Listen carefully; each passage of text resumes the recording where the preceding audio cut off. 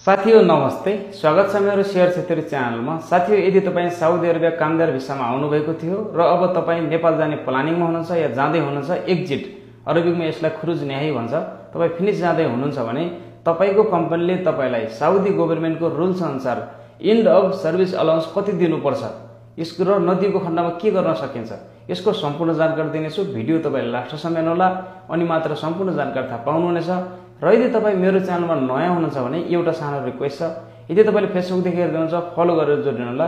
र यदि तपाईँले युट्युबदेखि हेर्दै हुनुहुन्छ सब्सक्राइब गरेर जोडिनु होला ताकि हजुर समक्ष मेरो भिडियो सजिलैसँग पुगोस् र मलाई अरू भिडियो बनाउनु ऊर्जा मिलोस्। मैले यस्तै इन्फर्मेसन भिडियोहरू बनाउने गर्छु। यदि तपाईँको कुनै पनि साथी साउदीदेखि एक्जिट जाने प्लानिङमा हुनुहुन्छ एक्जिट जाँदै हुनुहुन्छ भने यो भिडियो सेयर गरिदिनु होला ताकि साथीलाई केही हेल्प मिलोस्। बाँकी तपाईँको व्यक्तिगत विचार। साथी अब लागौँ भिडियोतिर। यदि तपाईँ साउदी अरेबिया वर्किङ भिसामा आउनुभएको थियो र तपाईँ अब एक्जिट जाने प्लानिङमा हुनुहुन्छ भने तपाईँको कम्पनीले तपाईँलाई एक्जिट जाने समयमा इन्ड अफ सर्भिस अलाउन्स कति दिनुपर्छ कुन हिसाबले दिनुपर्छ? अब यो अनिवार्य रहेको छ। तपाईँको कम्पनीले तपाईँ एक्जिट जाने समयमा यो सम्पूर्ण डिटेल गभर्मेन्टलाई देखाउनु पर्ने हुन्छ। तपाईँको इन्ड अफ सर्भिस कति दियो तपाईँको सम्पूर्ण स्यालेरी कति दियो सम्पूर्ण यो देखाउनु पर्ने हुन्छ। यो कम्पनीले दिनु पनि पर्छ।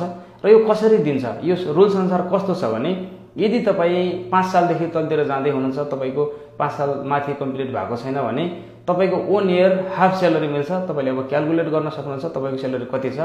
र यदि तपाईँ पाँच सालदेखि माथितिर जाँदै हुनुहुन्छ भने वान इयर वान स्यालेरी मिल्छ जस्तो कि तपाईँ दस सालमा जाँदै हुनुहुन्छ भने दसवटा स्यालेरी तपाईँ चार सालमा जाँदै हुनुहुन्छ भने तपाईँको दुईवटा स्यालेरी। यसरी क्यालकुलेट गर्न सक्नुहुन्छ। र यदि तपाईँको स्यालेरी कति छ कम्पनीले गोसीमा कति राखेको छ त्यो अनुसार तपाईँको इन्ड अफ सर्भिस अलाउन्स दिन्छ।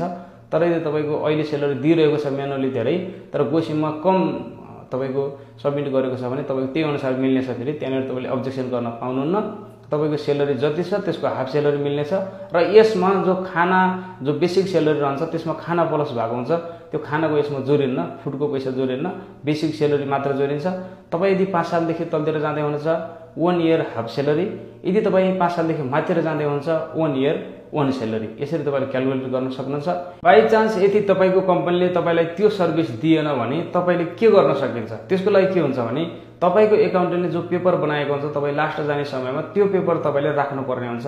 या तपाईँले त्यसको फोटो खिचेर त्यसको फोटोकपी बनाउनु पर्ने हुन्छ। किनकि त्यो एउटा एभिडेन्स रहन्छ। र तपाईँको यदि बैङ्कमा सबै पैसा दिएको छ भने तपाईँले त्यो बैङ्क डिटेल्स पनि देखाउन सक्नुहुन्छ।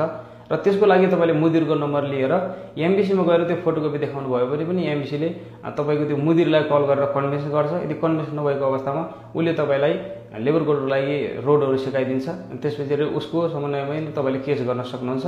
अब त्यति सजिलो चाहिँ छैन फेरि एमबिसीले त्यसरी फोन तुरुन्तै उठाउने कुरा पनि भएन। एमबिसीले त्यति छिटै सुन्दैन पनि। अब नेपालीले दुई हजार रुपियाँ कमाउनु लाग्यो भने अलिकता भाउ नेपालीको बढ्छ त्यो तपाईँलाई पनि थाहा छ। त्यो भएर समस्या हाम्रो हुन्छ भने हामीले नै ट्राई गर्नुपर्छ। सकेसम्म तपाईँ एमबिसीमा आउने प्रयास गर्नुपर्छ। एमबिसी तपाईँको रियादमा छ तपाईँको जेद्दा गाउँ छ जेद्दामा छ। तपाईँको दमामा पनि शाखा छ। तपाईँले नम्बरहरू पनि मसँग पाउन सक्नुहुन्छ। यो पेजमा मेरो नम्बर छ मलाई कल गरेर कुनै एमबिसीको नम्बर चाहियो तपाईँले कल गरेर नम्बर पनि लिन सक्नुहुन्छ। त्यसमा ठुलो कुरा पनि भएन भने तपाईँलाई नम्बर दिन्छु। तर तपाईँले यसरी केस गर्न सक्नुहुन्छ। तर यहाँनिर तपाईँले कस्तो अवस्थामा केस नगर्नु होला भने जस्तो कि तपाईँको मेनुअली अहिले दुई हजार रुपियाँ दिइरहेको छ तर तपाईँको इन्ड अफ सर्भिस आउने समयमा पन्ध्र सयको हिसाबले आयो। जस्तै गोसीमा तपाईँको यदि पन्ध्र सय एड गरेको छ भने त्यही अनुसारले दिन्छ। त्यो भएर त्यहाँनिर तपाईँले अब्जेक्सन नगर्नु होला। र सियो इन्ड अफ सर्भिस अलाउन्स सबैले पाउनुपर्ने हुन्छ या त्यो घरमा काम गर्ने मान्छे होस् या कम्पनीमा काम गर्ने मान्छे होस् या होटेलमा गर्ने होस् या सप्लाई कम्पनीको होस् यो सबैले पाउनुपर्ने हुन्छ। यसको लागि अब यदि तपाईँ जाँदै हुनुहुन्छ दुई सालमा जाँदै हुनुहुन्छ मानव कि तपाईँको बाह्र सय रुपियाँ सेलर थियो भने त तपाईँको एक सालको कति हुने भयो छ सय रुपियाँ फेरि दुई सालको तपाईँको बाह्र सय नै हुने भयो। त्यो भएर बाह्र तेह्र सयको लागि केस गर्न आवश्यक छैन किनकि भाडामा नै तपाईँको बाह्र तेह्र सय सकिहाल्छ।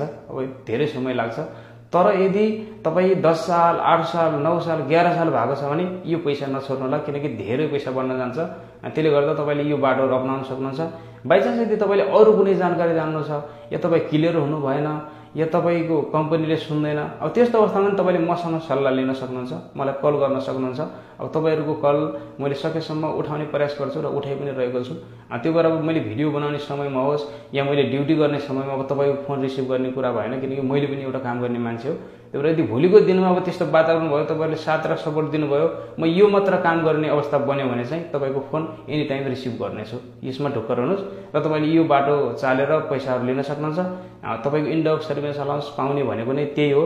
तपाईँ यदि पाँच सालदेखि तलतिर हुनुहुन्छ भने वान इयर हाफ सेलरी पाँच सालदेखि माथितिर तपाईँ वान इयर वान सेलरी तर यो डाइरेक्ट पाँच सालमा नेपाल गएको भन्ने खोजे होइन। तपाईँ छुट्टी गएर आउने जाने गर्नुहुन्छ नि दुई सालमा।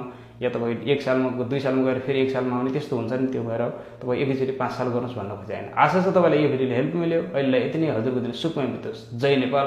शुभ दिन।